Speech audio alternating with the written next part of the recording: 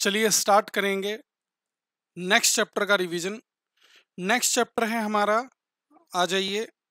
ये देखिए। Business application of maxima and minima चलो स्टार्ट करते हैं।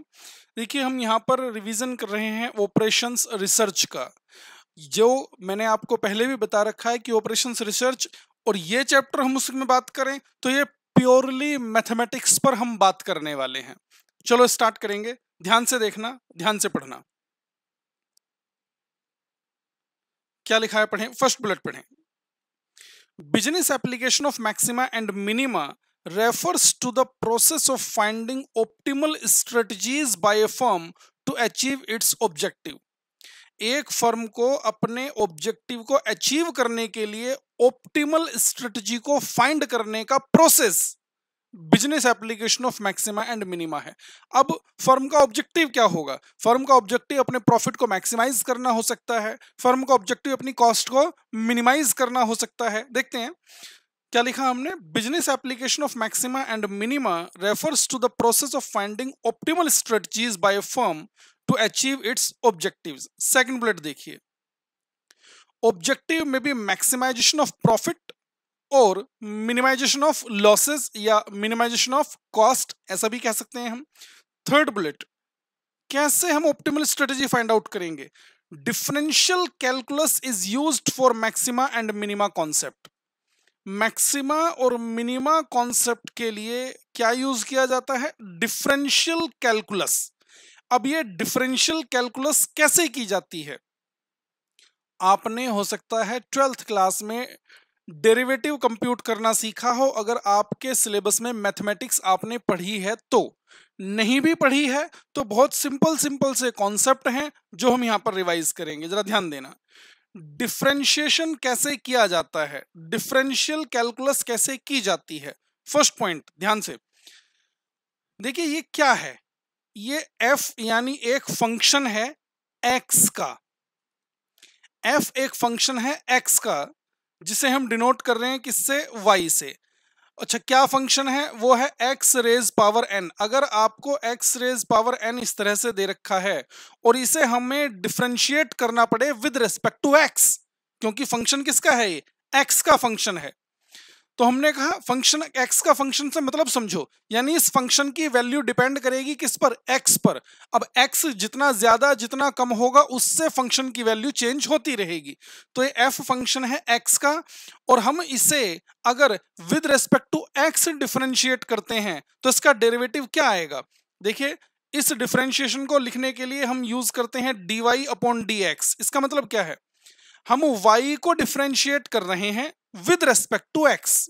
तो इसे हम क्या कहते हैं? D y upon d x या फिर हम इसे ऐसे भी लिख सकते हैं एफ़ डैश एक्स यानी इसका मतलब क्या है? हमने f को डिफ्रेंशिएट कर दिया है विद रेस्पेक्ट टू x. अच्छा क्या आएगा ये? जो इसकी पावर है, उसे यहाँ पर ले लीजिए n, और x की पावर फिर रह जाएगी n माइनस वन कहने का मतलब क्या है? जरा ध्यान देना।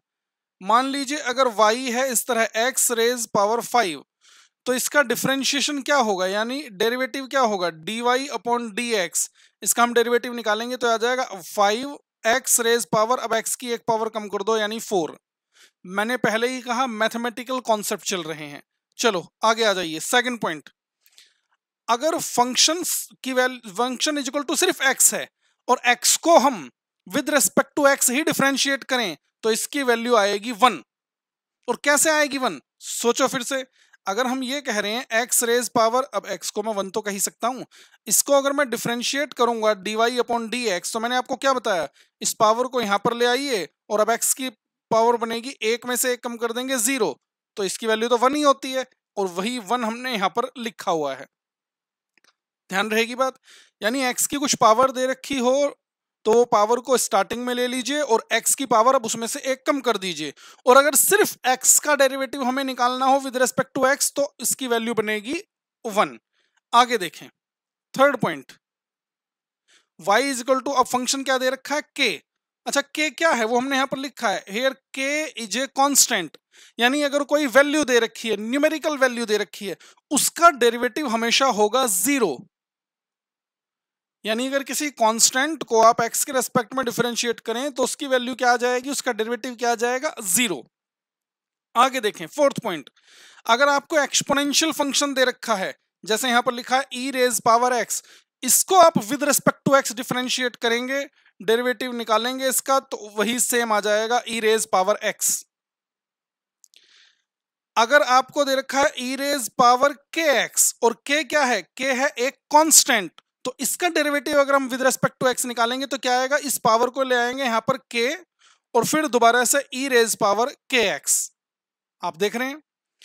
और लास्ट अगर आप लोग एक्स आपका फ़ंक्शन दे रखा है तो इसका डेरिवेटिव आपका बनेगा वन अपॉन एक्स देखिए, ये कुछ चीज़ें हैं, पाँच छह टर्म हैं, जो आपको याद रखनी पड़ेंगी।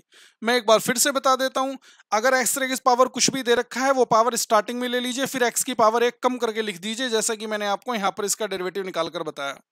अगर आप एक्स का डेरिवेटिव निकाल रहे हैं और विद रेस्पेक्ट टू एक्स ही निकाल रहे हैं तो उसका डेरिवेटिव आएगा वन ये मैंने आपको यहाँ पर बताया। कोई कांस्टेंट वैल्यू है न्यूमेरिक वैल्यू है, उसका आप डेरिवेटिव निकाल रहे हैं, उसका डेरिवेटिव आएगा हमेशा zero e raise power x का derivative e raise power x ही रहेगा। E raise power k x का डेरिवेटिव के को स्टार्टिंग में ले लेंगे और फिर e raise power k x ही आ जाएगा। अगर आप लोग एक्स का डेरिवेटिव निकालते हैं तो लोग एक्स का derivative with respect to x बनेगा वन अपॉन एक्स ये चीज़ वो है जो आपको याद करनी पड़ेगी। अब इन डेरिवेटिव का, इस डिफरेंशियल कैलकुलस का मैक्सिमा मिनिमा का पता लगाने के लिए कैसे यूज़ किया जाता है, उस बात पर आ जाते हैं। ये देखो।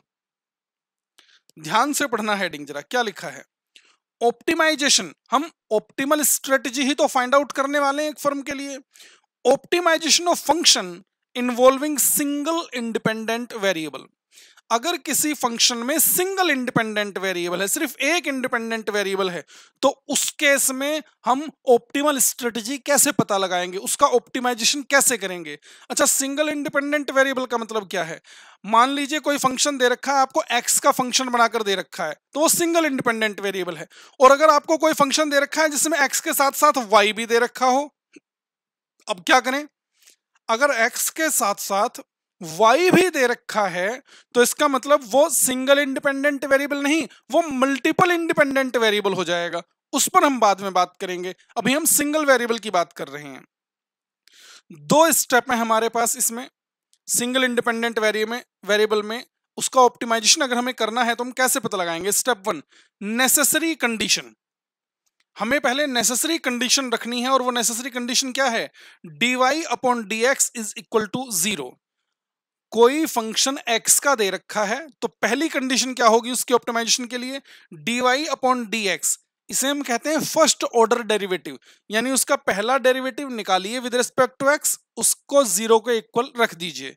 सेकंड कंडीशन इसे कहते हैं सफिशिएंट कंडीशन फिर हम अगेन उसका डेरिवेटिव निकालेंगे विद रिस्पेक्ट टू एक्स जिसे हम नाम देंगे सेकंड ऑर्डर डेरिवेटिव अभी मैं क्वेश्चन कराऊँगा, आपको बात समझ आ जाएगी। सफिशिएंट कंडीशन में, देखो जरा अभी ऊपर ये फ़र्स्ट ऑर्डर डेरिवेटिव था तो इसे हमने लिखा था d y upon d x second order derivative क्या आ जाएगा? वो आ जाएगा d square y upon d x square यानी वाई को हमने अगेन डिफ्रेंशिएट किया विद रेस्पेक्ट टू एक्स अगर ये सेकंड ऑर्डर डेरिवेटिव की वैल्यू ज़ीरो से कम आती है दैट इज़ निगेटिव आती है तो इसका मतलब है there exist a maxima maxima या मिनिमा के लिए ही तो हम ये बिज़नेस एप्लीकेशन सीख रहे हैं।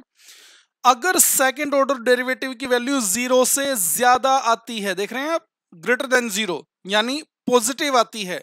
It means there exist a minima तो इसका मतलब है वहाँ पर मिनिमा एग्जिस्ट करता है।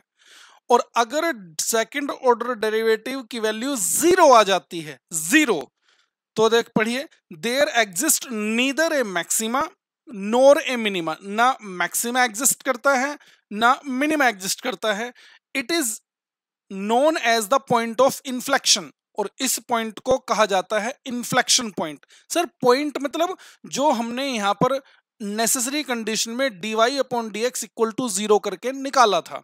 तो मतलब वो point neither a maxima nor a minima it is known as the point of inflection उसे इन्फ्लेक्शन पॉइंट के नाम से जाना जाता है। अब ये जो कंडीशंस हमने यहाँ पर पढ़ी हैं, इनका प्रैक्टिकल एप्लीकेशन देखते हैं। ये देखिए क्वेश्चन नंबर वन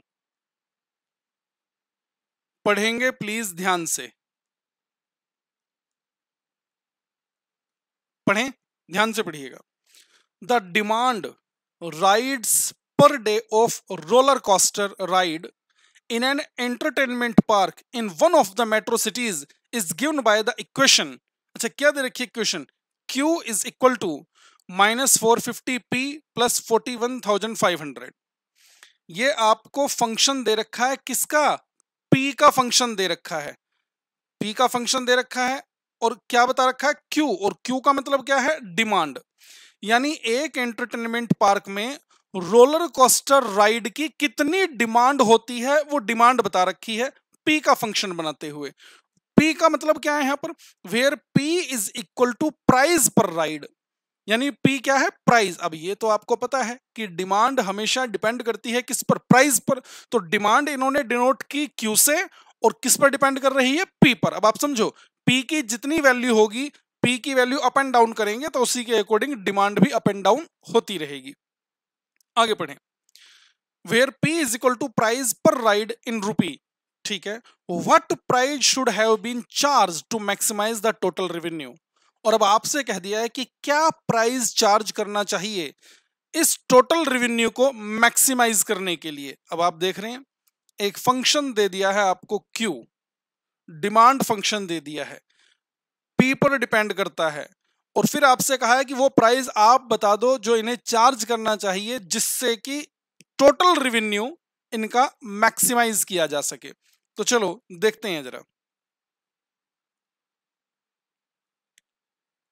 सॉल्यूशन जो भी टर्म्स मैंने आपको भी समझाई, उनका प्रैक्टिकल एप्लीकेशन देख रहे हैं। डिमांड डिमांड को इन्होंने डिनोट किया क्यू से। क्या फ़ंक्शन है? माइनस फोर फिफ्टी प्लस अच्छा minus four fifty p plus forty one thousand five hundred.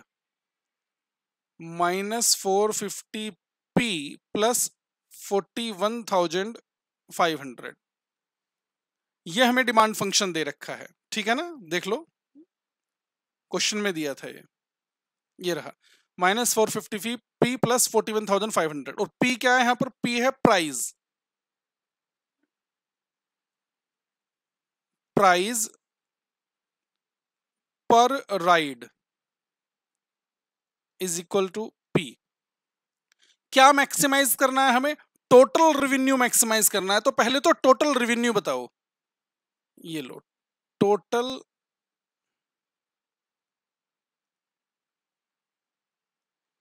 Revenue इसे हम दिखा देते हैं आर से, ठीक है? रेवेन्यू को।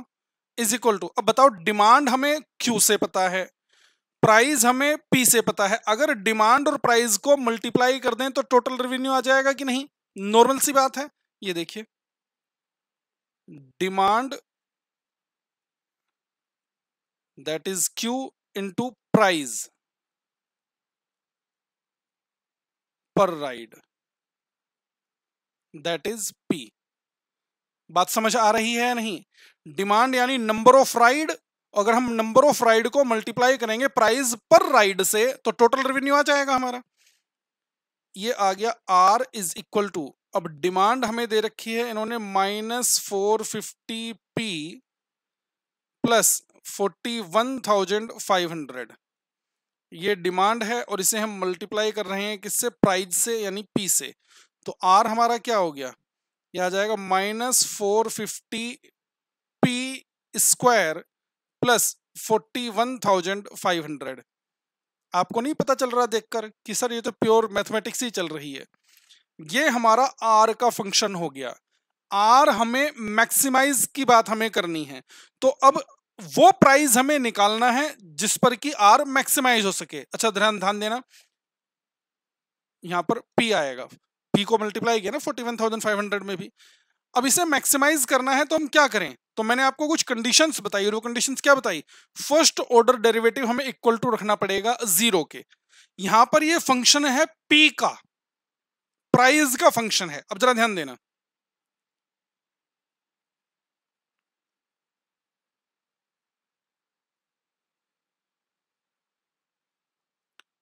Differentiating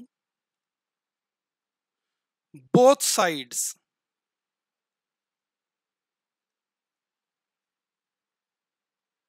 with respect to p क्या कह रहा हूँ मैं? Differentiating both sides with respect to p जरा ध्यान देना। इधर क्या लिखा जाएगा? इधर लिखा जाएगा d r upon d p हम आर को डिफ्रेंशिएट कर रहे हैं with respect to p is equal to with respect to p ध्यान रखना। ये 450 मल्टीप्लीकेशन में है माइनस का, इसे ऐसे ही लिख लीजिए। सर, ये तो कांस्टेंट है। बेटा, ये कांस्टेंट नहीं है, क्योंकि इसके साथ में मल्टीपल में पी स्क्वायर है। तो ये 450 हमने ऐसे ही लिख लिया। अब पी स्क्वायर का डेरिवेटिव निकालेंगे तो पी स्क्वायर का विद रेस्पेक्ट टू पी ध्यान से मैंने आपको बताया था, जब अभी कुछ देर पहले हम बात कर रहे थे, अगर x का फ़ंक्शन है विद रेस्पेक्ट टू x हम कर रहे हैं तो मैंने आपको क्या बताया था, वो पावर स्टार्टिंग में लिख लो और एक कम कर दो। तो यहाँ पर p का फ़ंक्शन है और हम with respect to p differentiate कर रहे हैं तो क्या करेंगे? टू p, अब पी की एक पावर कम कर दो अभी थी टू यहाँ पर हो जाएगा वन प्लस फिर से ये forty one thousand five hundred multiplication में है। अब p का डिफरेंशिएट डिफरेंशिएशन ये सिर्फ़ p है। P का differentiation with respect to p करेंगे तो क्या वैल्यू बताया हमने? वन बताया था ना, x का differentiation with respect to x one आएगा तो यहाँ पर e आ गया। ये क्या बन गया? D r upon d p is equal to minus four fifty की मल्टीप्लाई करेंगे पी वन पी से तो ये आ जाएगा नाइन हंड्रेड पी अब पी की पावर वन लिखो या मत लिखो, क्या फ़र्क पड़ता है? Plus forty one thousand five hundred ये क्या आ गया? ये आ गया फ़र्स्ट ऑर्डर डेरिवेटिव ये लो, इसे मैं क्वेश्चन नंबर वन कह देता हूँ. As per necessary condition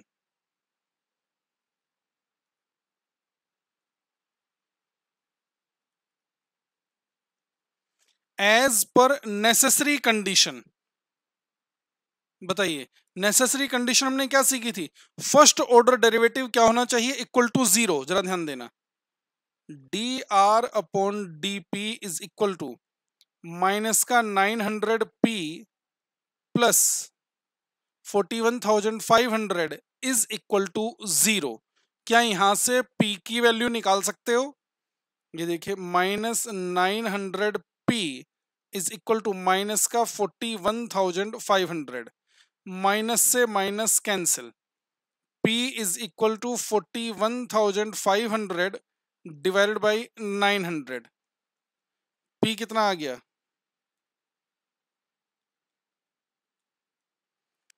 ये आ गया forty six point one one one चल रहा है। वन वन लिख दिया हमने। ठीक है?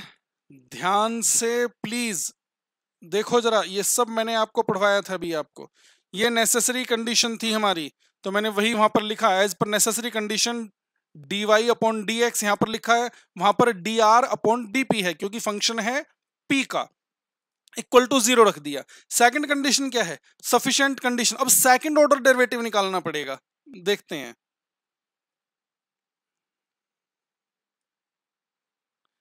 ये लीजिए। To ascertain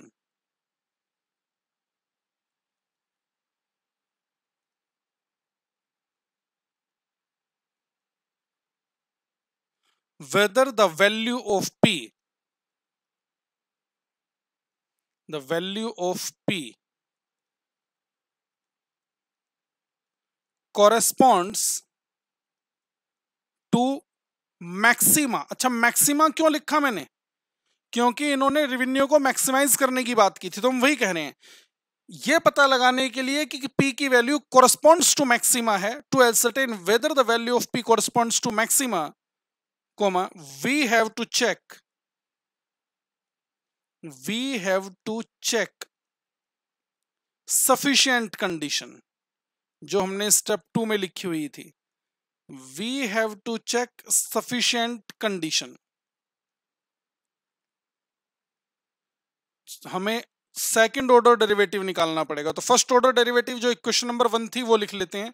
equation number one थी हमारी d r upon d p is equal to क्या था? Minus nine hundred p plus forty one thousand five hundred. Minus nine hundred p plus forty one thousand five hundred. ये निकाला था ना एक question number one, ऊपर से ये देख के लिखा है हमने। इसको अगेन डिफ्रेंशिएट करना है। चलो।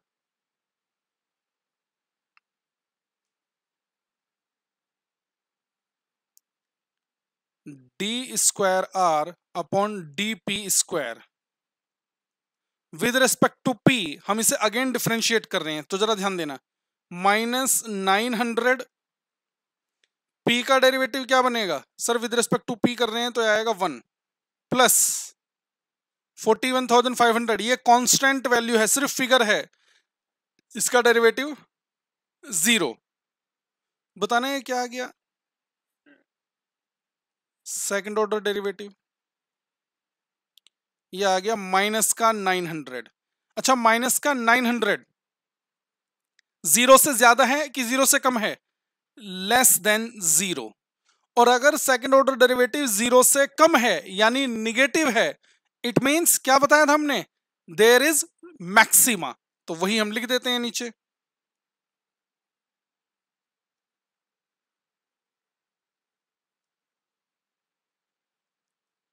It means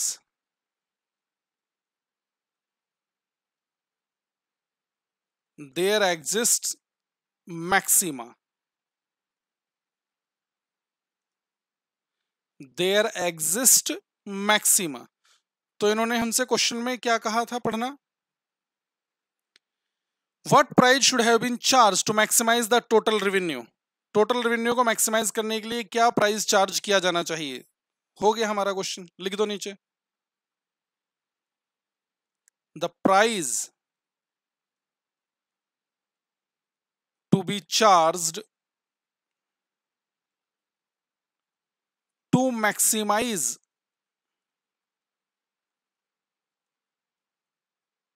the revenue is equal to rupees, क्या आई थी पी की वैल्यू ये रही forty six point one one forty six point one one पर राइड आपसे कहा जाए कि आप टोटल रिवेन्यू निकालो तो टोटल रिवेन्यू भी आप निकाल सकते हैं। कैसे? ये देखो, मैं निकाल कर दिखा देता हूँ। टोटल रिवेन्यू टोटल रेवेन्यू हमने फ़ंक्शन बनाया था कहाँ पर? देखिए, ये रहा। टोटल रेवेन्यू था हमारा आर ये रहा। Minus four fifty p square plus forty one thousand five hundred p minus four fifty p square plus forty one thousand five hundred p यहाँ पर अगर आप पी की वैल्यू रख देंगे तो आपका मैक्सिमाइज रिवेन्यू आ जाएगा।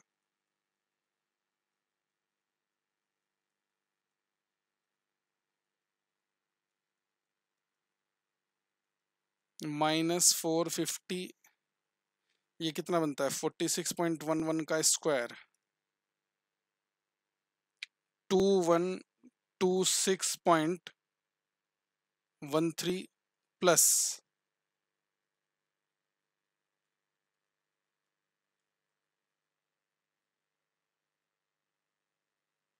Nineteen lakh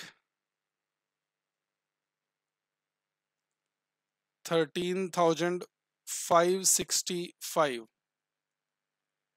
कितना आता है?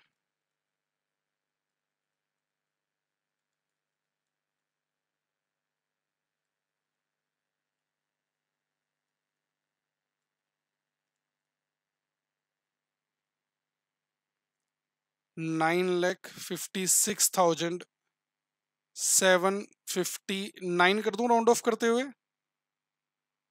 नेगेटिव है plus nineteen lakh thirteen thousand five sixty five total revenue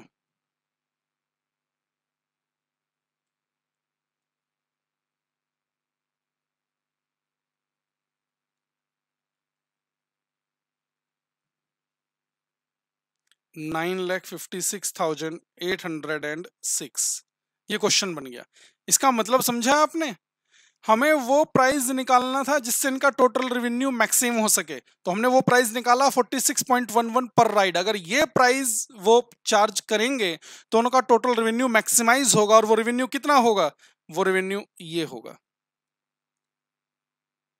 sir मतलब ये गारंटी है, आप चेक कर लीजिए। मेरा कहने का मतलब क्या है? ये जो आपका टोटल रेवेन्यू का फ़ंक्शन है, ये जो हमने बनाया था, ये टोटल रेवेन्यू आप इसमें पी की वैल्यू जो मन करे आपका वो रखो। जो मन करे वो रखो। टोटल रेवेन्यू को इससे ज़्यादा करके दिखा दो तो मैं मान जाऊँगा। मेरी बात समझ रहे हैं आप? मैंने क्या कहा? अगर ये रेवेन्यू का फ़ंक्शन है minus four fifty p square plus forty one thousand five hundred p तो मैं आपसे क्या कह रहा हूँ? आप इसमें पी की वैल्यू कुछ भी रखो। टोटल रेवेन्यू इससे ज़्यादा नहीं आने वाला। इसलिए हमने कहा, इन्होंने कहा था, पी की वो वैल्यू निकालिए, वो प्राइस बताइए, जिससे टोटल रेवेन्यू मैक्सिमाइज किया जा सके। तो आप समझें, कितना यूजफुल टूल है ये business application of maxima and minima. हो गया ये क्वेश्चन? समझ आया आपको? चलो, आगे बढ़ते हैं फिर। चलिए आगे। देखना आगे क्या है अगर इसी क्वेश्चन में सोचो, जैसे अभी हमने क्वेश्चन किया है मैक्सिमा वाला। अगर मिनिमा वाला क्वेश्चन आएगा तो उसमें क्या चेंज होगा? सब कुछ चेंज से बिल्कुल सेम रहेगा, बस ये सेकंड ऑर्डर डेरिवेटिव जो हमने यहाँ पर निकाला है, यहाँ पर ही आया है लेस देन ज़ीरो वहाँ पर आना चाहिए ग्रेटर देन ज़ीरो अगर ग्रेटर देन ज़ीरो आ जाता है तो हम वहाँ पर लिख सकते हैं it mean there exist minima चलो, ये तो बात समझ आ गई, हम बढ़ रहे हैं आगे नेक्स्ट कॉन्सेप्ट पर। ये देखिए पार्शियल डिफ्रेंशिएशन सर पार्शियल से मतलब क्या है? जब किसी फ़ंक्शन में एक से ज़्यादा वेरिएबल होंगे, मान लीजिए एक्स भी है किसी फ़ंक्शन में और वाई भी है, दोनों हैं तो जब हम डिफ्रेंशिएशन निकालेंगे तो हम विद रेस्पेक्ट टू एक्स निकालेंगे। सोचो जरा, मैं क्या कह रहा हूँ? किसी फ़ंक्शन में एक्स भी है और वाई भी है हमें डेरिवेटिव निकालना है तो वो तो हम पर डिपेंड करते हैं। हम विद रेस्पेक्ट टू एक्स भी डेरिवेटिव निकाल सकते हैं और विद रेस्पेक्ट टू वाई भी डेरिवेटिव निकाल सकते हैं। तो जब हम विद रेस्पेक्ट टू एक्स बात करेंगे तो हम वाई की बात नहीं कर रहे हैं। तो इस डेरिवेटिव को नाम दिया जाएगा पार्शियल डेरिवेटिव पार्शियल डिफ्रेंशिएशन या हम अगर विद रेस्पेक्ट टू वाई निकाल रहे हैं तो हम विद रेस्पेक्ट टू एक्स बात नहीं करेंगे तो हम इसे नाम देंगे पार्शियल डेरिवेटिव ये देखो जरा, इसकी मेन कंडीशन क्या है, पढ़ो जरा। When we differentiate the function partially with respect to x मैं मानकर चल रहा हूँ, ये कॉन्सेप्ट लिखते समय हमने दो वेरिएबल लेते हुए माना है। मान लो किसी फ़ंक्शन में एक्स भी है और वाई भी है तो मैं क्या कह रहा हूँ? When we differentiate the function partially with respect to x अगर हम with respect to x differentiate करते हैं then y is assumed constant तो वाई को एक कॉन्स्टेंट वैल्यू माना जाता है। यानी आप मानकर चलेंगे कि y एक नॉर्मल वैल्यू है न्यूमेरिक फिगर है, और अगर कोई वैल्यू कांस्टेंट हो तो उसका डेरिवेटिव क्या होगा? ज़ीरो ये तो बता रखा है मैंने आपको। सेकंड पॉइंट देखिए। When we differentiate the function partially with respect to y, अगर हम किसी फ़ंक्शन को पार्शियली डिफरेंशिएट करते हैं विद रिस्पेक्ट टू y, और उसमें x भी दे रखा है then x is assumed constant तो x को एज्यूम किया जाएगा कि एक वो कांस्टेंट वैल्यू है और उसका डेरिवेटिव क्या बनेगा? ज़ीरो ध्यान रहेगी ये बात। यानी अगर किसी फ़ंक्शन में एक से ज़्यादा वेरिएबल हैं और आप किसी एक पर्टिकुलर वेरिएबल के रेस्पेक्ट में उस फ़ंक्शन को डिफ्रेंशिएट कर रहे हैं तो उस वेरिएबल के अलावा जो भी वेरिएबल होंगे, वो कांस्टेंट माने जाएँगे और जो ये डेरिवेटिव आप निकालेंगे, ये डिफरेंशिएशन जो आप करेंगे, इसे नाम दिया जाएगा पार्शियल डिफरेंशिएशन ठीक है? क्योंकि हम किसी एक पर्टिकुलर वेरिएबल के रेस्पेक्ट में डिफरेंशिएट करते हैं। चलो, आगे देखो अब जरा heading optimization of function involving multiple independent variable अगर एक से ज़्यादा इंडिपेंडेंट वेरिएबल हैं तो उस फ़ंक्शन का ऑप्टिमाइजेशन कैसे पता लगाएँगे? देखिए, अभी हमने सिंगल इंडिपेंडेंट वेरिएबल की बात की थी। अब हम यहाँ पर एक से ज़्यादा यानी टू इंडिपेंडेंट वेरिएबल का अगर फ़ंक्शन होगा तो उसका ऑप्टिमाइजेशन कैसे किया जाएगा, उसकी बात कर रहे हैं। ये देखो step one the first order partial derivative देखा आपने? वर्ड आया यहाँ पर partial the first order partial derivative of the function should be zero first order partial derivative को ज़ीरो के इक्वल पुट करना है. The critical point is a comma b where a is equal to value of x and b is equal to value of y ध्यान रखना partial derivative को कैसे present किया जाता है? पार्शियल डेरिवेटिव को डेल से प्रेजेंट किया जाता है. यानी जैसे अभी हम बात कर रहे थे ना क्या बात कर रहे थे? अभी हम लिख रहे थे d y upon d x अब d y upon d x नहीं, अब क्या होगा? Del y upon del x क्या नाम देने में से डेल डी ई एल ठीक है? यानी इस तरह से डिफ्रेंशिएट करते हुए उन्हें इक्वल टू ज़ीरो पुट कर दीजिए और फिर एक्स और वाई की वैल्यू निकाल लीजिए। जैसे अभी हमने क्वेश्चन किया, उसमें हमने फ़र्स्ट ऑर्डर डेरिवेटिव को ज़ीरो के इक्वल पुट करके पी की वैल्यू निकाल ली थी। यहाँ पर एक with respect to x derivative निकालेंगे, एक with respect to y derivative निकालेंगे, दोनों को ज़ीरो को इक्वल पुट कर देंगे तो एक्स की वैल्यू भी आ जाएगी और वाई की वैल्यू भी आ जाएगी। एक्स और यहाँ पर हमने मान लिया कि एक्स की वैल्यू मान लेना, आप क्या आ गई है? ए और वाई की वैल्यू क्या आ गई है? बी इस ए कोमा बी को हम नाम देंगे क्रिटिकल पॉइंट ठीक है? फ़र्स्ट ऑर्डर डेरिवेटिव को पार्शियल डेरिवेटिव को ज़ीरो के कुल पुट करते हुए एक्स और वाई की वैल्यू निकाल लेंगे। एक्स की वैल्यू को हमने कहा ए वाई की वैल्यू को हमने कहा बी स्टेप टू पढ़ो जरा क्या लिखा है। Find all possible second order partial derivative and value of putting and value by putting x is equal to a and y is equal to b फिर हमने क्या कहा? सेकेंड ऑर्डर पार्शियल डेरिवेटिव निकालिए। और सेकंड ऑर्डर पार्शियल डेरिवेटिव निकालकर उनकी value भी निकालिए। एक्स इक्वल टू ए रखते हुए और वाई इक्वल टू बी रखते हुए। क्लियर है जी? देखो जरा नीचे हमने लिखा भी है। सेकंड ऑर्डर पार्शियल डेरिवेटिव देखा आपने? यहाँ पर डेल का साइन आ गया। अब डी नहीं है। तो del square f upon del x square यानी ये क्या है? सेकंड ऑर्डर डेरिवेटिव है फ़ंक्शन का विद रिस्पेक्ट टू एक्स इसे हम एफ़ एक्स एक्स भी लिख सकते हैं।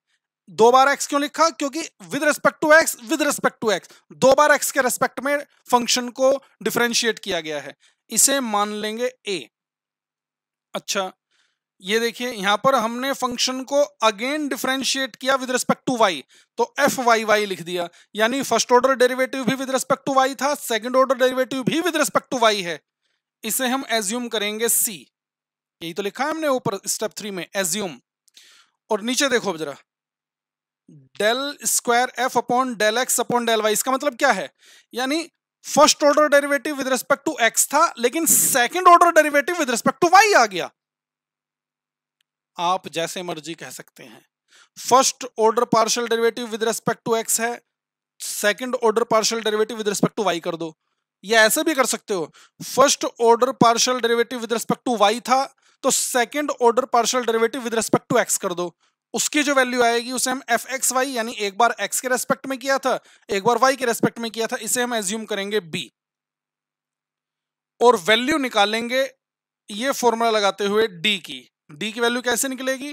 D is equal to a c minus b square. अब जरा ध्यान देना। If d greater than zero and a comma c also greater than zero, अगर डी ज़ीरो से ज़्यादा है ए और सी की वैल्यू भी ज़ीरो से ज़्यादा है then there is local minima at a comma b यानी लोकल मिनिमा की कंडीशन क्या है? डी की वैल्यू ज़ीरो से ज़्यादा होनी चाहिए ए कोमा सी की वैल्यू भी ज़ीरो से ज़्यादा होनी चाहिए। ठीक है, आगे देखिए second if D greater than zero D की वैल्यू ज़ीरो से ज़्यादा है and A comma C less than zero लेकिन ए कोमा सी की वैल्यू ज़ीरो से कम है then there is local maxima at A comma B तो ये कंडीशन किसकी है? लोकल मैक्सिमा की है। आगे देखिए डी लेस देन ज़ीरो अगर डी ज़ीरो से कम है तो हमें ए और सी चेक करने की ज़रूरत ही नहीं। A comma B is a saddle point तो ए कोमा बी क्या कहलाएगा? सैडल पॉइंट कहलाएगा। और अगर D exactly equal to zero आ जाता है देन द टेस्ट फेल्स तो हमारा ये टेस्ट ही फेल हो गया है। फिर से ध्यान से। जब टू वेरिएबल वाला फ़ंक्शन दे रखा होगा तो उसकी कंडीशन क्या लिखी है हमने? First order partial derivative equal to zero रखते हुए एक्स और वाई की वैल्यू निकाल लीजिए। सेकंड स्टेप में सेकंड ऑर्डर पार्शियल डेरिवेटिव निकालिए। All possible second order partial derivative, ठीक है? और उनकी वैल्यू भी निकालिए, X equal to A, Y equal to B put करते हुए, ठीक है? स्टेप थ्री में एफ़ एक्स एक्स को ए एज्यूम करेंगे एफ़ वाई वाई को सी एज्यूम करेंगे और एफ़ एक्स वाई को बी एज्यूम करेंगे और फिर डी की वैल्यू निकालेंगे A C minus B square करते हुए। फिर हम इस टेस्ट को चेक कर सकते हैं। अगर डी ज़्यादा है ज़ीरो से ए कोमा सी भी ज़्यादा है ज़ीरो से then there is local minima अगर डी ज़्यादा है ज़ीरो से ए कोमा सी कम है ज़ीरो से then there is local maxima अगर डी ज़ीरो से कम आ जाता है then A comma B is a saddle point और अगर डी इक्वल टू ज़ीरो आता है मतलब टेस्ट हमारा फेल हो गया है। ठीक है? इसका भी एक क्वेश्चन देख लेते हैं। आपकी प्रैक्टिस हो जाएगी। चलिए, पढ़िए जरा क्वेश्चन एक company produces two products X comma Y एक कंपनी दो तरह के प्रोडक्ट बनाती है X Y the total profit in thousand rupees, ध्यान से रुपी किसमें रखें थाउज़ेंड में। Earned by the company is expressed algebraically by the function. देखना, क्या दे रखा है हमें? Total profit in thousand rupees. Profit दे रखा है। Earned by the company is expressed algebraically by the function. अच्छा फ़ंक्शन ये इसे इन्होंने इसको प्रॉफिट से डिनोट किया है। साइन आपको पता है, पाई का साइन है ये। Equal to hundred X minus X square minus two X Y plus two hundred Y minus three Y square आप देख रहे हैं फ़ंक्शन में एक्स भी है और वाई भी है। दो दो वेरिएबल हो गए। Find the profit maximising quantities for the products कह रहे हैं प्रॉफिट मैक्सिमाइजिंग क्वांटिटी बताइए। यानी एक्स की कितनी यूनिट बनाई जाए और वाई की कितनी यूनिट बनाई जाए जिससे कि कंपनी का प्रॉफिट मैक्सिमम हो सके मैक्सिमाइज किया जा सके। Also find out the maximum profit और फिर कह रहे हैं, वो मैक्सिमम प्रॉफिट कितना होगा, वो भी निकाल कर बताइए। चलो, देख लेते हैं। Solution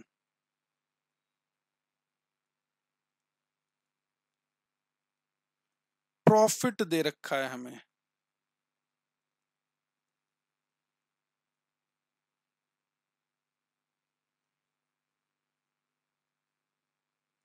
100x minus x square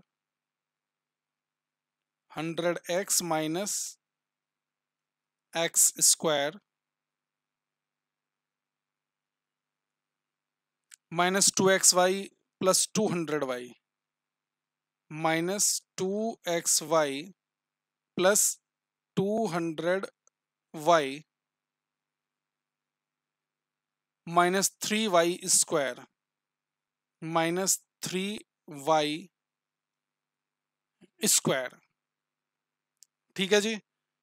दो वेरिएबल वाला फ़ंक्शन हमें दे रखा है। इसे ऑप्टिमाइज करना है हमें प्रॉफिट मैक्सिमाइज करने के लिए एक्स और वाई की वैल्यू कंप्यूट करके देनी है हमें। चलो स्टार्ट करते हैं। चलिए, लिखिए। Differentiating the function partially partially differentiation करना पड़ेगा। With respect to X differentiating the function partially with respect to X जरा ध्यान दो, ये लो। पाई एक्स लिख देता हूँ, ठीक है ना? आप del pi upon del X लिखें, बात तो एक ही है, ऐसे ही लिख देते हैं, ये लो pi X with respect to X हम डिफ्रेंशिएशन कर रहे हैं। तो ये है हंड्रेड एक्स हम विद रेस्पेक्ट टू एक्स कर रहे हैं तो हंड्रेड ऐसे ही लिख देंगे एक्स का डिफ्रेंशिएशन वन माइनस फिर है ये टू यहाँ पर है फिर एक्स स्क्वायर तो एक्स स्क्वायर का डिफ्रेंशिएशन क्या बनेगा? Two X raise power one minus ध्यान से टू एक्स वाई तो एक्स के मल्टीपल में है टू और वाई तो टू वाई को ऐसे ही लिख दो। एक्स का डिफ्रेंशिएशन वन आपको बात समझ आई क्या? सर वाई तो हमने कांस्टेंट माना था। हाँ तो टू भी कांस्टेंट है वाई भी कांस्टेंट है तो टू वाई हो गया ना? प्लस टू हंड्रेड और ये वाई अब y तो कांस्टेंट है और y को 200 में मल्टीप्लाई करेंगे तो ये कांस्टेंट ही रहेगा तो इसका डेरिवेटिव क्या बनेगा? ज़ीरो आपको बात समझ आई? देख लेना, ध्यान से, यहाँ पर इसके मल्टीप्लीकेशन में एक्स था। इसलिए हमने टू वाई को ऐसे ही लिखा और एक्स का डेरिवेटिव वन। लेकिन यहाँ पर इसके मल्टीपल में एक्स थोड़ी ना है, ये नॉर्मल सिर्फ़ और सिर्फ़ कॉन्स्टेंट ही है। तो इसका डेरिवेटिव क्या? Zero, minus three Y square. Y क्या है? कॉन्स्टेंट तो इसका डेरिवेटिव ज़ीरो। जब हम विद रिस्पेक्ट टू एक्स बात कर रहे हैं तो वाई को कॉन्स्टेंट एज्यूम किया जाता है। ये लीजिए, ये क्या बन गया? Hundred minus two X minus two Y. ठीक है जी? चलो, अब क्या करें? हमें अगेन इस फ़ंक्शन को डिफ्रेंशिएट करना पड़ेगा विद रिस्पेक्ट टू वाई वो करते हैं। इसे हम कह देते हैं इक्वेशन नंबर वन अब हम क्या कह रहे हैं differentiating the function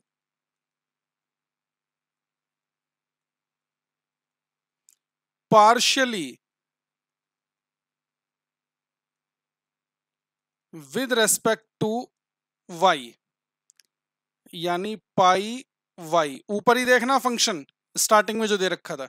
सबसे पहले है हंड्रेड एक्स अब अगर हम विद रेस्पेक्ट टू वाई बात कर रहे हैं तो एक्स कांस्टेंट है। तो हंड्रेड एक्स पूरा का पूरा कांस्टेंट हो गया।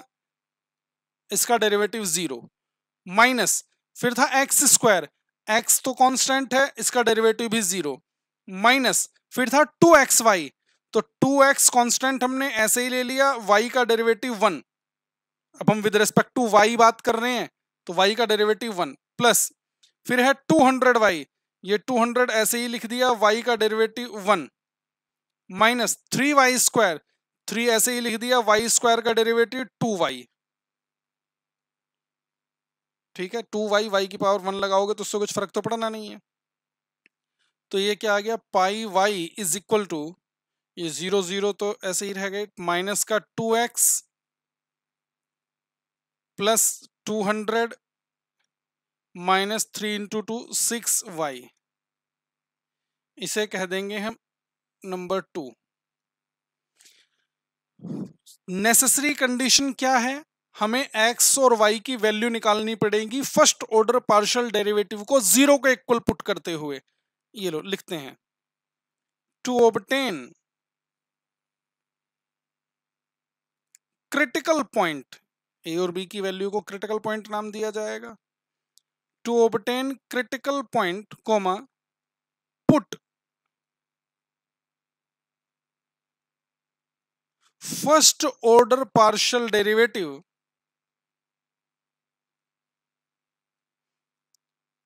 partial derivative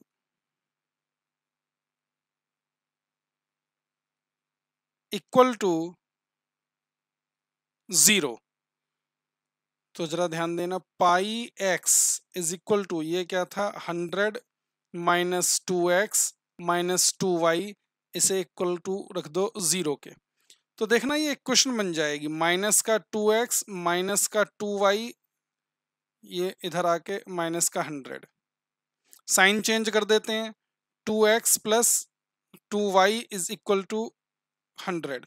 पूरी इक्वेशन टू से डिवाइड हो सकती है तो x plus Y is equal to fifty इसे कह देते हैं हम इक्वेशन नंबर थ्री इसी तरह पाई वाई को भी ज़ीरो के इक्वल पुट करो। पाई वाई क्या था? ये इक्वेशन बनी थी हमारी माइनस का two X plus two hundred minus का six Y equal to zero के इक्वल पुट कर दो। क्या है? माइनस का two X, minus six Y is equal to two hundred, इधर जाएगा, माइनस का हो जाएगा, माइनस का टू हंड्रेड। साइन चेंज कर देते हैं, two X plus six Y is equal to two hundred.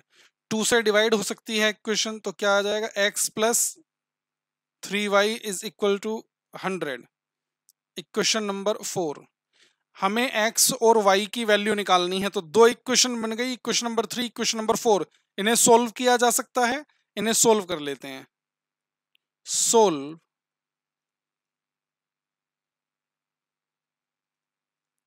equations three and four चलो बताओ इक्वेशन नंबर थ्री क्या है हमारी? X plus Y is equal to fifty यह है इक्वेशन नंबर थ्री और इक्वेशन नंबर फोर क्या है? X plus three Y is equal to hundred दोनों प्लस के हैं, साइन चेंज कर दो। ये आ जाएगा माइनस माइनस माइनस एक्स से एक्स कैंसिल हो गया। अब y minus three Y minus का two Y is equal to fifty minus hundred minus का फिफ्टी माइनस से minus cancel y equal to fifty divide by two that is twenty five ठीक है, ये fifty है। y की value किसी भी इक्वेशन में पुट कर दो। अब x plus Y is equal to fifty ये हमारी इक्वेशन नंबर थ्री थी। इसमें y की वैल्यू हम पुट कर देते हैं twenty five is equal to fifty equal to fifty minus twenty five is equal to twenty five ये लीजिए। X भी निकल गया, y भी निकल गया, और इसे हम क्या नाम देंगे? क्रिटिकल पॉइंट ये लो the critical point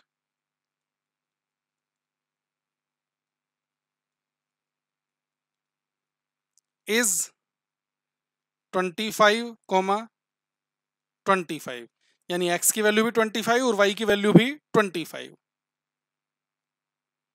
ठीक है? अब क्या करें? देखो जरा क्या लिखा था हमने। जो कंडीशंस लिखी है ऑप्टिमाइजेशन की, वो क्या थी? First order partial derivative equal to zero निकाल रखते हुए हमने एक्स और वाई की वैल्यू निकाल दी। ठीक है? ये निकल गई। फिर हमने कहा था find all possible second order partial derivative and value by putting X equal to A and Y equal to B अब हमें सेकेंड ऑर्डर पार्शियल डेरिवेटिव निकालने हैं। चलो। To ascertain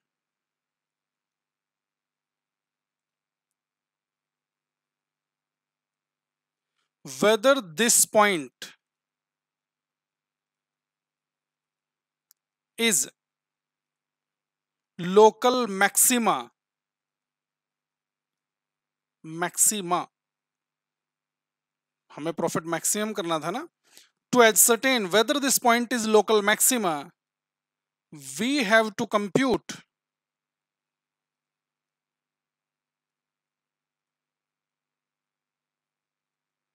values of second order partial derivatives. At this point, हमें value निकालनी पड़ेगी second order partial derivative की इस पॉइंट पर। चलो, ध्यान से समझ लेना प्लीज़ एक बात बताइए।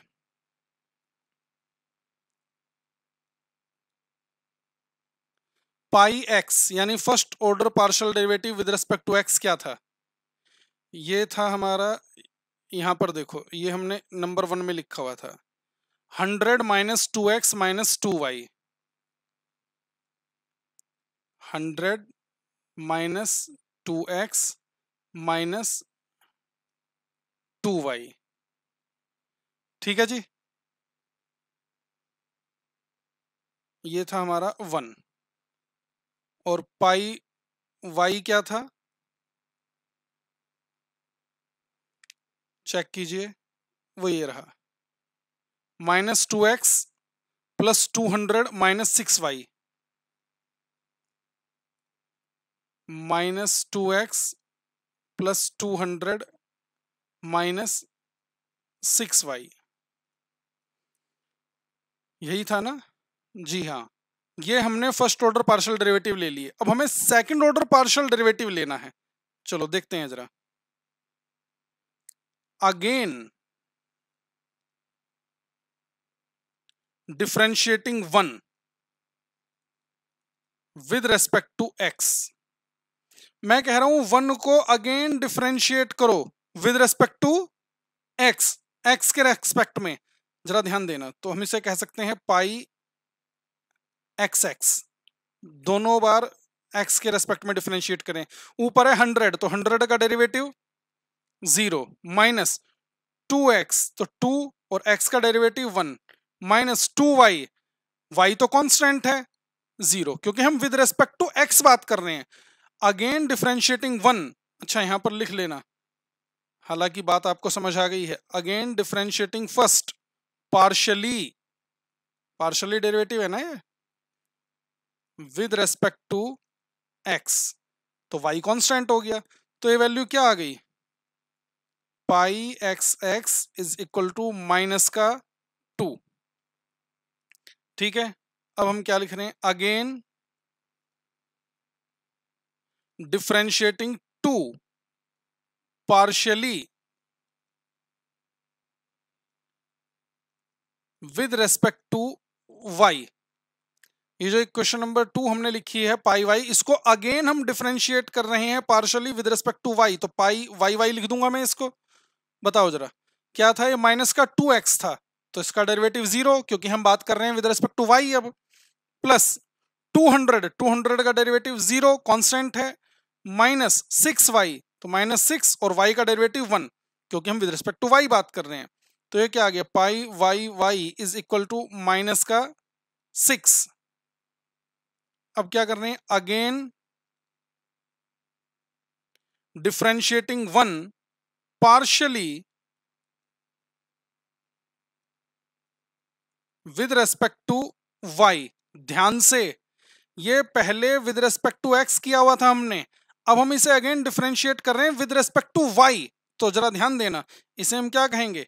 इसका first order derivative with respect to x था second order derivative with respect to y कर रहे हैं। तो pi x y is equal to जरा ध्यान देना, ये क्या है? हंड्रेड इसका डेरिवेटिव ज़ीरो माइनस ये क्या है? टू एक्स इसका डेरिवेटिव ज़ीरो क्यों? क्योंकि हम विद रिस्पेक्ट टू वाई निकाल रहे हैं अब। आगे देखिए, ये क्या है? माइनस का टू वाई इसका डेरिवेटिव माइनस का टू और वाई का derivative one with respect to y हमने बात की है। Pi x y is equal to ये क्या आ जाएगा? माइनस का हमने सेकंड ऑर्डर पार्शियल डेरिवेटिव निकाल दिया है। ये बात ठीक है। अगर मान लो यहाँ पर इस सेकंड ऑर्डर पार्शियल डेरिवेटिव में एक्स या वाई आ रहा होता तो उस एक्स या वाई की जगह हम क्या वैल्यू पुट करते? फिर हम एक्स या वाई की जगह पर वैल्यू पुट करते 25 तब भी वैल्यू निकल जाती सेकंड ऑर्डर पार्शियल डेरिवेटिव की। अब जरा ध्यान देना, ये सभी सेकंड ऑर्डर पार्शियल डेरिवेटिव हमने निकाल लिए हैं। आगे देखिए हमने क्या लिखा था। मैंने कहा था एफ़ एक्स एक्स को ए एज्यूम करो एफ़ वाई वाई को सी एज्यूम करो एफ़ एक्स वाई को बी एज्यूम करो और डी की वैल्यू निकालो। कैसे? A C minus B square तो जरा ध्यान दो। एफ़ एक्स एक्स यानी पाई एक्स एक्स इसे ए एज्यूम करो पाई वाई वाई को सी एज्यूम करो और पाई एक्स वाई को बी एज्यूम करो और वैल्यू निकालो डी की। ये लो। D is equal to A C minus B square निकालना ए की वैल्यू माइनस टू सी की वैल्यू माइनस सिक्स दिख रहा है ना आपको? ए की वैल्यू ये रही माइनस टू सी की वैल्यू माइनस सिक्स और फिर माइनस बी स्क्वायर यानी माइनस टू का स्क्वायर माइनस माइनस टू का स्क्वायर ये हो जाएगा पॉजिटिव ट्वेल्व माइनस माइनस का स्क्वायर करेंगे प्लस हो जाएगा फोर और ये क्या आ गया? Eight.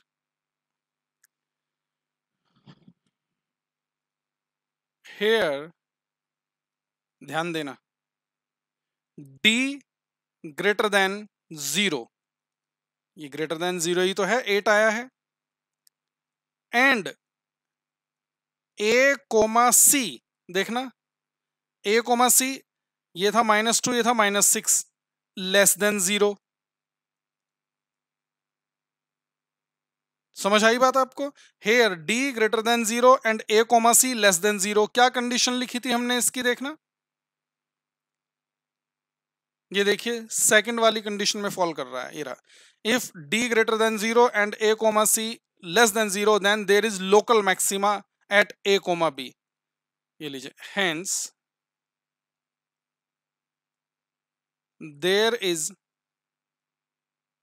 local maxima at 25 comma 25 ये देखो क्वेश्चन हमारा बन गया है। हमसे एक्स और वाई की वो क्वांटिटी निकालने के लिए कहा गया था जहाँ पर प्रॉफिट मैक्सिमम हो।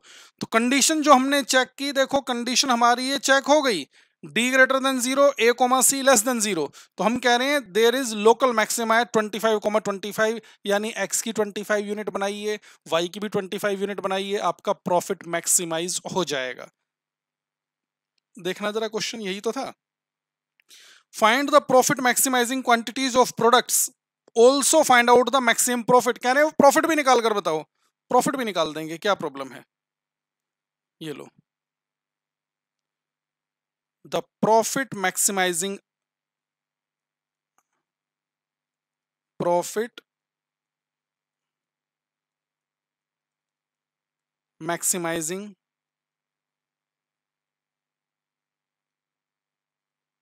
quantities are x is equal to 25 units y is equal to 25 units. इन्होंने कहा था, प्रॉफिट भी बताओ। चलो, प्रॉफिट भी बता देते हैं। प्रॉफिट का फ़ंक्शन इन्होंने क्या दे रखा था हमें? यहीं से देख लो, ऊपर से क्या था प्रॉफिट का function? Hundred x minus x square minus two x y. Hundred x minus x square minus two x y. Plus two hundred y minus three y square. Plus two hundred y minus क्या था? Three y square. यही था ना? गलती ना हो जाए, पता चले लास्ट में ही गलत कर दिया। चलो, एक्स और वाई की वैल्यू पुट करनी है हमें ट्वेंटी फाइव तो ये लीजिए हंड्रेड, यहाँ पर ट्वेंटी फाइव पुट कर दिया, माइनस ट्वेंटी फाइव का स्क्वायर माइनस टू एक्स की वैल्यू भी ट्वेंटी फाइव, वाई की वैल्यू भी twenty five, plus two hundred, y की जगह पर twenty five minus three, y की जगह पर ट्वेंटी फाइव स्क्वायर। निकालो जरा। Twenty five hundred minus twenty five का square six twenty five minus one two five zero plus five thousand minus one eight seven five is equal to क्या आता है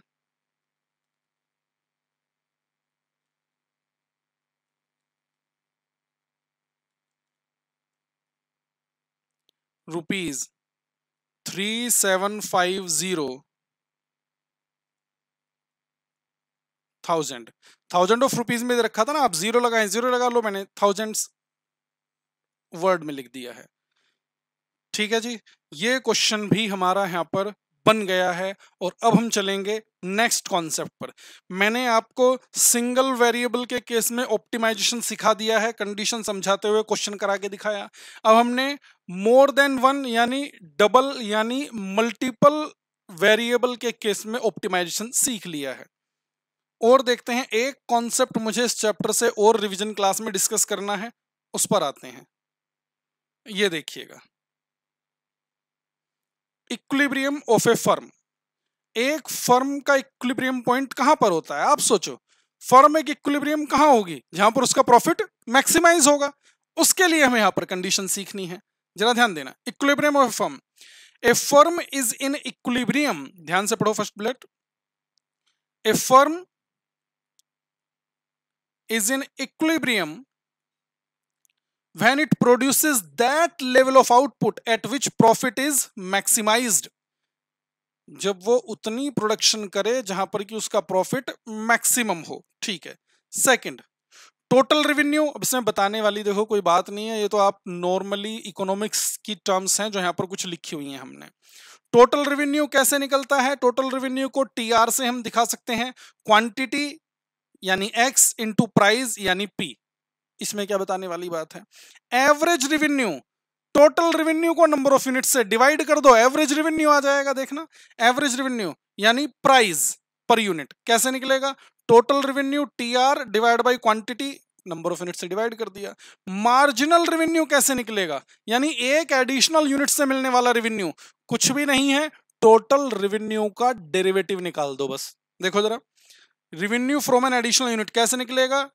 total revenue का derivative with respect to x यानी with respect to quantity एक additional unit से निकालने की बात कर रहे हैं ना? यानी मार्जिनल रेवेन्यू कैसे निकलता है? टोटल रेवेन्यू का डेरिवेटिव निकाल दीजिए। ठीक है। सेम इसी तरह टोटल कॉस्ट देखें। टोटल कॉस्ट यानी total fixed cost TFC plus total variable cost TVC average cost कैसे निकलेगी? कुछ भी नहीं है। टोटल कॉस्ट टीसी को एक्स से डिवाइड कर दो। एवरेज कॉस्ट आ जाएगी। मार्जिनल कॉस्ट टोटल कॉस्ट का डेरिवेटिव निकाल दो विद रिस्पेक्ट टू आउटपुट देखो, यानी cost of an additional unit DTC यानी टोटल कॉस्ट का डेरिवेटिव निकालना है हमें विद रिस्पेक्ट टू एक्स कुछ बहुत टफ लग रही है क्या? सिंपल सिंपल सी चीज़ें हैं. Total revenue average revenue marginal revenue total cost average cost marginal cost और लास्ट में प्रॉफिट जिसे हमने पाई से रिनोट किया. Profit equal to total revenue minus total cost total revenue minus total cost T R minus TC चलिए conditions for firm's equilibrium firm की equilibrium के लिए क्या कंडीशंस हैं? देखना। Objective maximisation of profit profit कैसे निकलेगा? Total revenue minus total cost सीधा आपको, देखो जब आपको प्रॉफिट फ़ंक्शन दे रखा है तो प्रॉफिट मैक्सिमाइजिंग आउटपुट आपको पता लगाना आ गया है। हालाँकि फिर भी यहाँ पे फॉर्म्स इक्विलिब्रियम के नाम से कुछ कंडीशंस हैं जो हम यहाँ पर सीख रहे हैं। Necessary condition of firm equilibrium M R equal to M C यानी marginal revenue minus marginal cost जहाँ पर marginal revenue marginal cost equal हो जाएँगी, वो फर्म का इक्विलिब्रियम पॉइंट होगा। Sufficient condition of firm's equilibrium firm's equilibrium की sufficient condition क्या है? टोटल रेवेन्यू का second order derivative less than होना चाहिए टोटल कॉस्ट के सेकंड ऑर्डर डेरिवेटिव से। बात समझ आई क्या? हमने कहा टोटल रेवेन्यू का second order derivative total cost के सेकंड ऑर्डर डेरिवेटिव से कम हो तो फर्म इक्विलिब्रियम पर पहुँच जाएगी। और दूसरी कंडीशन मार्जिनल रेवेन्यू का डेरिवेटिव मार्जिनल कॉस्ट के डेरिवेटिव से कम हो, ये दोनों कंडीशन एक ही तो हैं। क्यों? आप सोचो जरा टोटल रेवेन्यू का फ़र्स्ट ऑर्डर डेरिवेटिव तो हमने मार्जिनल रेवेन्यू नहीं कह दिया था। लिखा नहीं था क्या हमने? यहाँ पर। देखना। ये क्या था? मार्जिनल रेवेन्यू क्या था? टोटल रेवेन्यू का फ़र्स्ट ऑर्डर डेरिवेटिव अगर फ़र्स्ट ऑर्डर डेरिवेटिव को मार्जिनल रेवेन्यू कह रहा हूँ और मैं मार्जिनल रेवेन्यू को फिर से उसका डिफरेंशिएशन कर देता हूँ। तो सेकंड ऑर्डर डेरिवेटिव तो हो गया टोटल रेवेन्यू का। तो यहाँ पर दोनों चीज़ें ये एक ही तो हैं। आप इसे टोटल रेवेन्यू का सेकंड ऑर्डर डेरिवेटिव कहें या मार्जिनल रेवेन्यू का डेरिवेटिव कहें, बात तो एक ही है। इसी तरह इसे टोटल कॉस्ट का सेकंड ऑर्डर डेरिवेटिव कहें टोटल कॉस्ट के फ़र्स्ट ऑर्डर डेरिवेटिव को हमने मार्जिनल कॉस्ट नहीं कहा था क्या? तो मार्जिनल कॉस्ट का भी डेरिवेटिव निकालेंगे तो टोटल कॉस्ट का सेकंड ऑर्डर डेरिवेटिव तो हो जाएगा। या ये कहें, बात एक ही है। क्लियर है? समझ आई बात? देखो जरा। एक क्वेश्चन हमने इसका भी यहाँ पर डिस्कस करना है और बस इस चैप्टर का रिवीजन भी हमारा हो जाएगा इंपॉर्टेंट पॉइंट्स का। ये देखिए, क्या लिखा है? A firm has the cost function cost function दे रखा है। X cube divide by three minus seven x square plus one hundred and eleven x plus fifty and demand function demand function भी दे रखा है x equal to hundred minus P determine the equilibrium output कहने equilibrium output बताइए price and profit earned equilibrium output भी बताना है, यानी कितनी यूनिट्स नंबर ऑफ़ यूनिट्स बतानी है प्राइस भी बताना है कि क्या बेस्ट रहेगा प्राइस और कितना प्रॉफिट इस फर्म को मिलेगा, वो भी हमें निकाल कर देना है। चलो स्टार्ट करते हैं। चलिए स्टार्ट करते हैं। Solution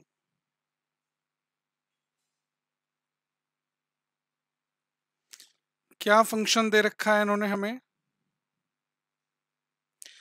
A firm's has the cost function यानी टोटल कॉस्ट फ़ंक्शन दे रखा है सी से।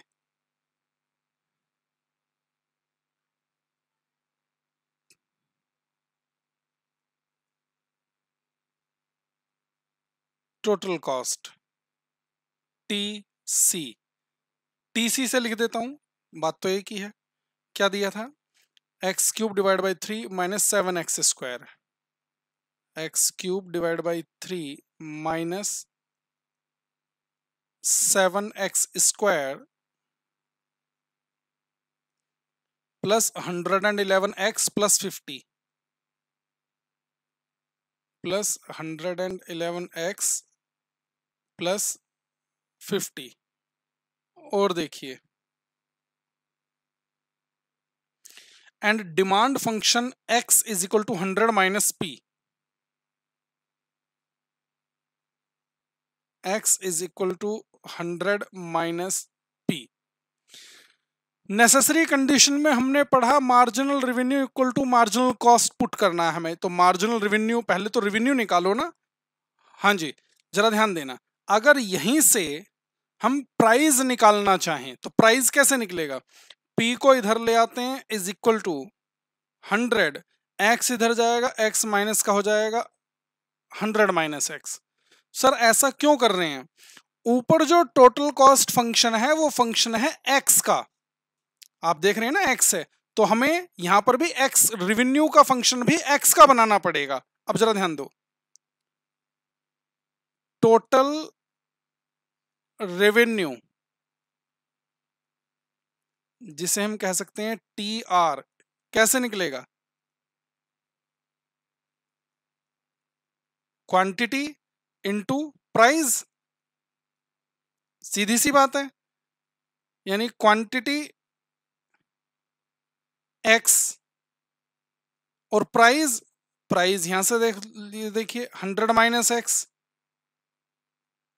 hundred minus x तो बताओ जरा टोटल रेवेन्यू क्या आ गया? Hundred x minus x square. Total cost हमें क्वेश्चन में दे रखा था, टोटल रेवेन्यू हमने निकाल लिया। नेसेसरी कंडीशन क्या है? Marginal revenue equal to marginal cost होनी चाहिए। तो यहाँ पर देखिए जरा।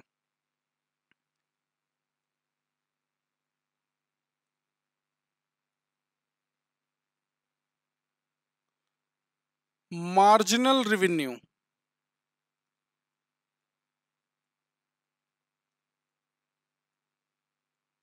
that is M R that is D upon x अच्छा किसका डेरिवेटिव टोटल रेवेन्यू का डेरिवेटिव निकाल सकते हो क्या?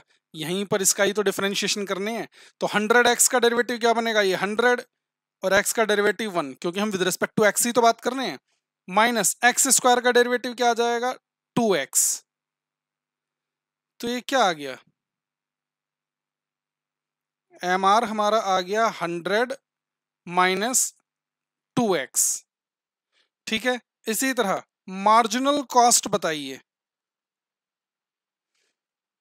Marginal cost that is MC यानी ये डेरिवेटिव निकालना पड़ेगा हमें टोटल कॉस्ट का। कॉस्ट का फ़ंक्शन हमें क्वेश्चन में दे रखा है, जरा ध्यान देना। ये देखिए, ये x cube divide by three तो मैं वन बाई थ्री को तो ऐसे ही लिख देता हूँ। एक्स क्यूब का derivative three x square minus. फिर क्या था? सेवन एक्स स्क्वायर है। तो सेवन को ऐसे ही लिख देते हैं, एक्स स्क्वायर का डेरिवेटिव टू एक्स। और देखिए, plus one hundred and eleven x. तो plus one hundred and eleven, x का derivative one.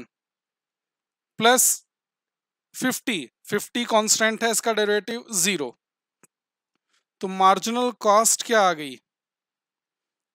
देखना, ये थ्री से, ये थ्री कैंसिल हो गया। ये आ गया हमारा x square minus fourteen x plus one hundred and eleven clear है जी? यहाँ पर लिखते हैं हम as per necessary condition necessary condition of firm's equilibrium as per necessary condition of firm's equilibrium mr is equal to mc marginal revenue equal to marginal cost तो marginal revenue हमने निकाला था ये देखिए हंड्रेड माइनस टू एक्स तो यहाँ पर लिख देते हैं hundred minus two x equal to marginal cost हमने ये निकाली है, यहाँ पर इसे लिख देते हैं x square minus fourteen x plus one hundred and eleven x के लिए इसे सोल्व कर लो, सभी को लेफ़्ट हैंड साइड में ले आइए hundred minus two x minus x square plus fourteen x minus one hundred and eleven is equal to zero minus x square जरा ध्यान देना।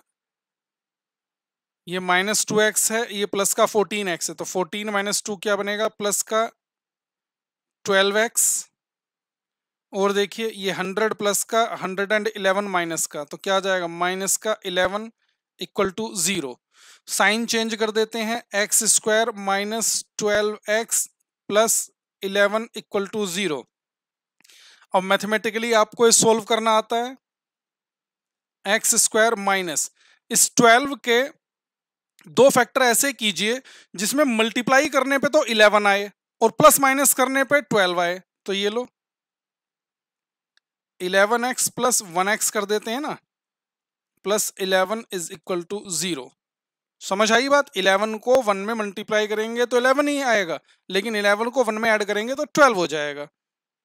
X square minus eleven x minus one x plus eleven is equal to zero x common ले लीजिए x minus eleven minus one यहाँ से common ले लीजिए x minus eleven is equal to zero एक आ गया ये एक्स माइनस वन और एक आ गया x minus eleven equal to zero ठीक है जी? तो इसमें क्या करते हैं हम? एक बार लेते हैं हम x minus one equal to zero x is equal to one एक बार लेते हैं x minus eleven equal to zero x is equal to eleven ठीक है? अब क्या करना है? ये हमने नेसेसरी कंडीशन रखते हुए एक्स की वैल्यू निकाल ली। अब हमें सफिशेंट कंडीशन चेक करनी है। और सफिशेंट कंडीशन में मैंने आपको क्या पढ़वाया था? देखो। क्या कंडीशन थी? ये रही सफिशियंट कंडीशन हमारी। Sufficient condition of firm's equilibrium is second order derivative of total revenue कम होना चाहिए second order derivative of total cost से। लिखते हैं। ये लो। For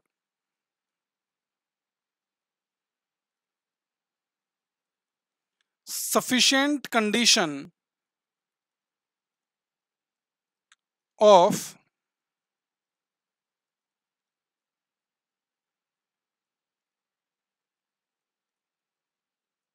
firm's equilibrium for sufficient condition of firm's equilibrium comma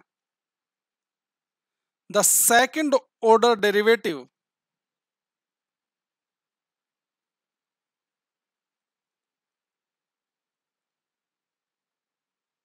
the second order derivative.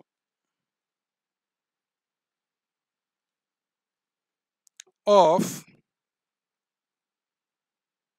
total revenue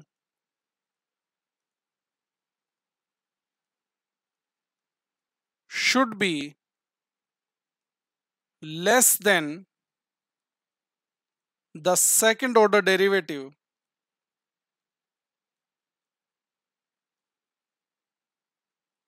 second order derivative of total cost second order derivative of total revenue should be less than the second order derivative of total cost चलो जरा ध्यान देना total revenue का first order derivative ये रहा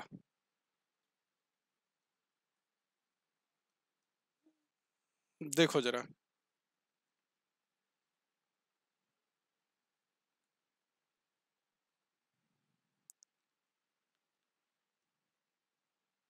ये first order derivative क्या था?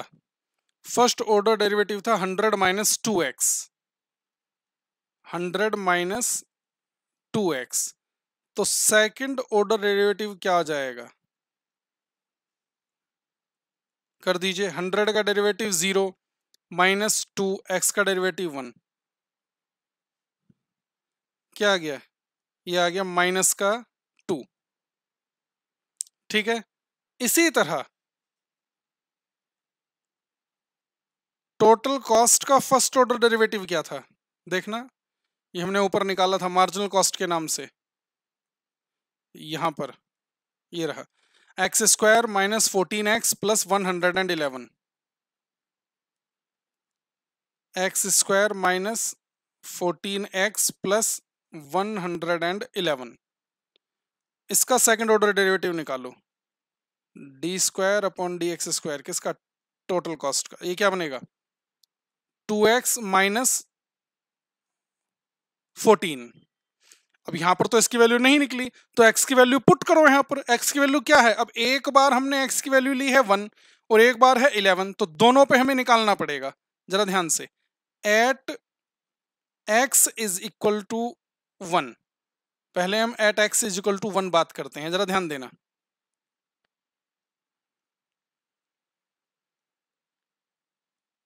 टोटल रेवेन्यू का क्या आ रहा है? टोटल रेवेन्यू का सेकंड ऑर्डर डेरिवेटिव आ रहा है माइनस टू वो तो यहीं पे डायरेक्ट ही निकल गया था। माइनस टू माइनस का टू ठीक है। D square upon d x square total cost का सेकंड ऑर्डर डेरिवेटिव निकालो। जरा ध्यान देना। यह है टू एक्स माइनस फोर्टीन तो एक्स की जगह पर हमने वन रख दिया।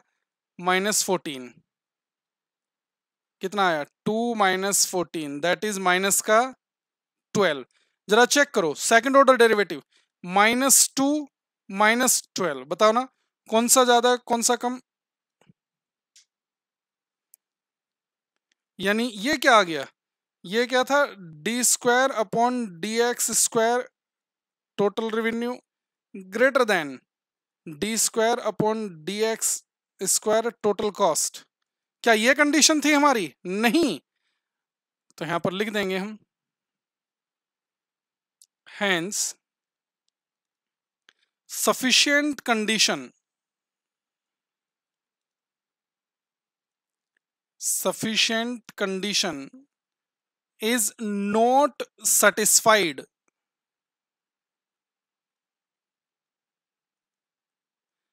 at x is equal to one ठीक है, दूसरा चेक करते हैं at x is equal to eleven दूसरी वैल्यू इलेवन थी ना?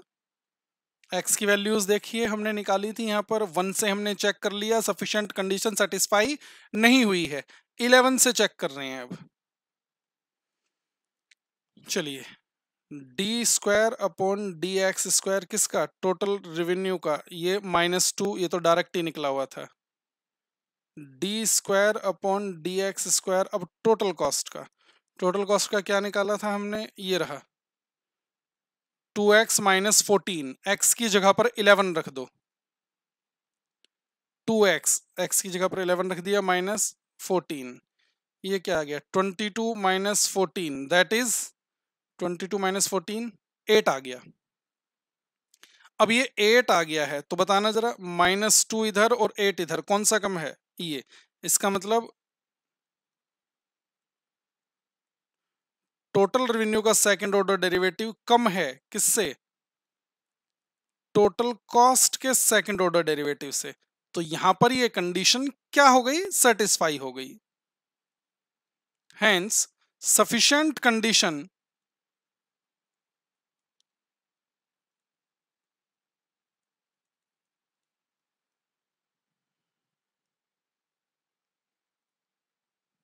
satisfy at x is equal to eleven sufficient condition satisfy हो जाती है x is equal to eleven पर। तो ये फॉर्म्स इक्विलिब्रियम आउटपुट क्या आ गया? ये देखिए क्वेश्चन हमारा बन गया है। Firm's equilibrium output is equal to 11 units.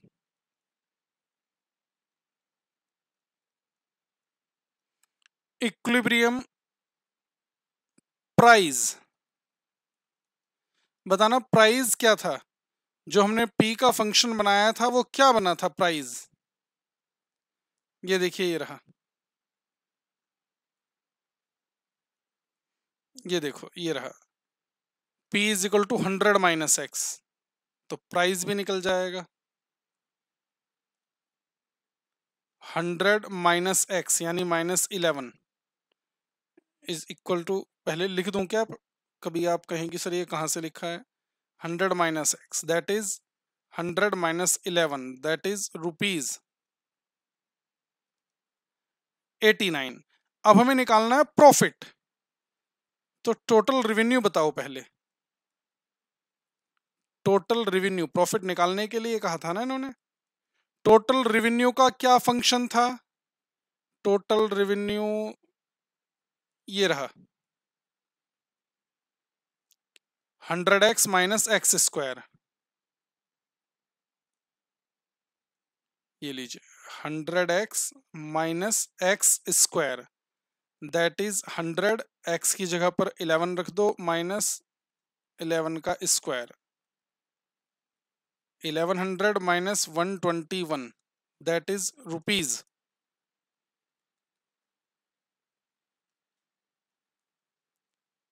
nine seventy nine total cost total cost का फ़ंक्शन ये भी क्वेश्चन में ही दे रखा था। क्या था? X cube divide by three minus seven X square plus one hundred and eleven X plus fifty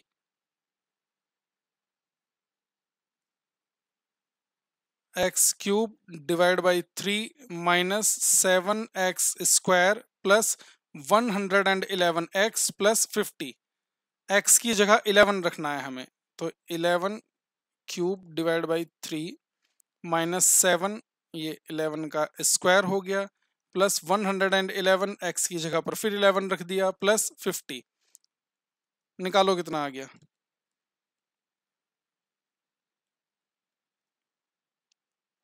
443.67 minus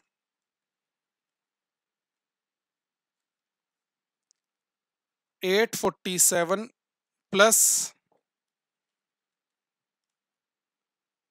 1221 plus 50 is equal to rupees.